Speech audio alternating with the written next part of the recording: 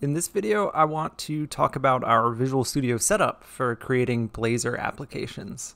So I want to talk about .NET 5, I want to talk about um, security warnings, your server options, and um, setting your project up so that when you make changes, your browser automatically refreshes.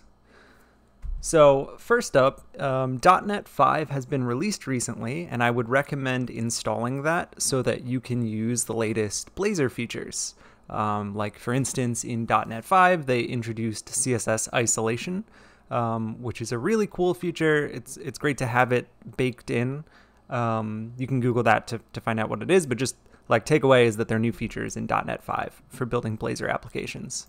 So if you have the latest version of Visual Studio, then you have .NET 5. If you don't, you can open up your Visual Studio window, go to Help, check for updates.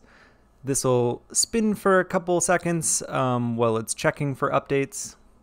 And then when it finishes, it'll tell you either you're up to date or there's a new update. So if you have the latest version, you've got .NET 5. And the way that you can kind of see that is when we go ahead and create a new Blazor application, I'm going to throw this on my desktop for demo purposes.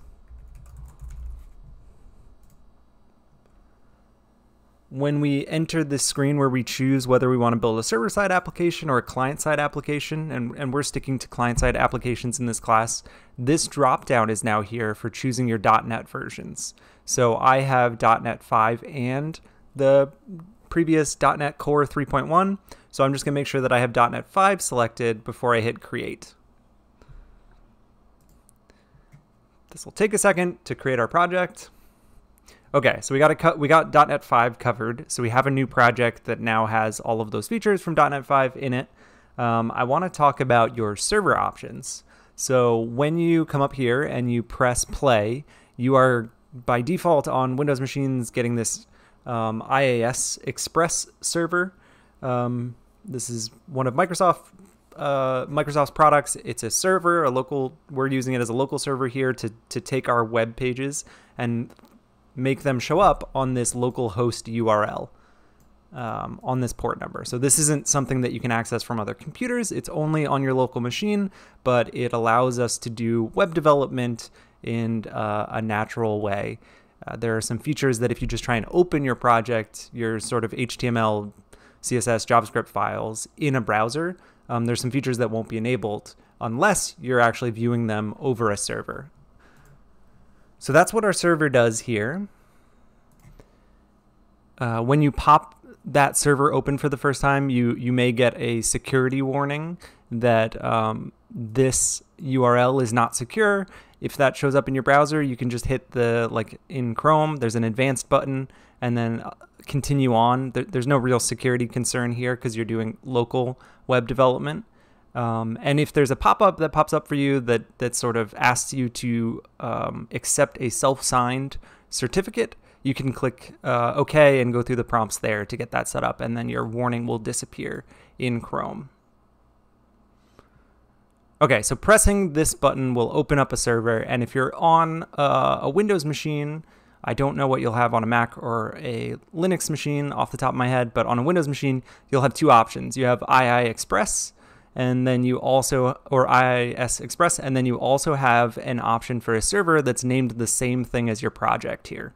So my project is called Blazor Demo. If I click this and switch to that server and press play, I have now configured using a different server, um, and this server. Uh, sometimes the IIS I have found with Blazor development um, can break without you even really touching the project.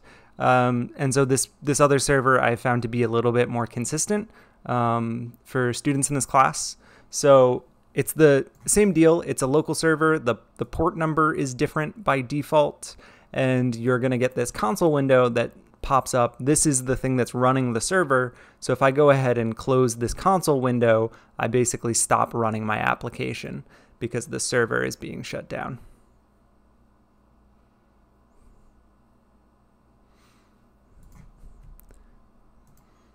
Okay, so we've talked about .NET 5, the SSL, the security warnings, the server options.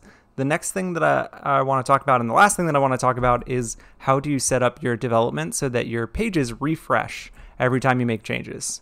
So right now, if I were to go into like index and go ahead and pit, press play to start up my debugger and start up my local server here, I can see my application, but if I come in and I make a change, like I want to make that an exclamation point, by default, this is not um, going to show up in my new application here.